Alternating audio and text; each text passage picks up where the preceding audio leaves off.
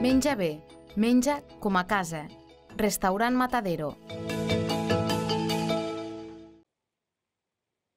Junts per Tortosa ha carregat contra la possible pujada d'impostos a l'Ajuntament de Tortosa. L'equip de govern, encapçalat per Jordi Jordan, ha anunciat accions com contenir la despesa o actualitzar impostos per fer front als 4 milions d'euros més de despesa corrent per al proper exercici. Però la cap de l'oposició, Meritxell Roige, assegura que aquesta actualització és sinònim d'un increment de taxes.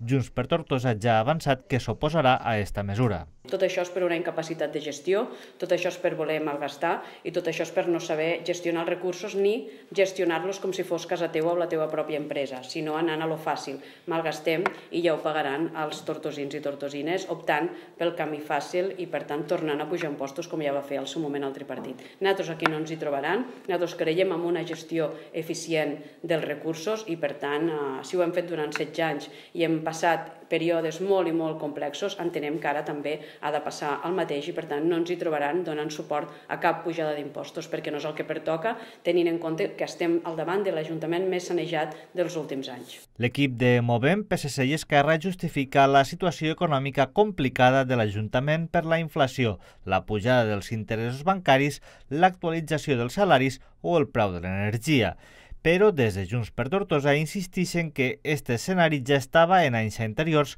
quan no va ser necessari pujar les taxes municipals.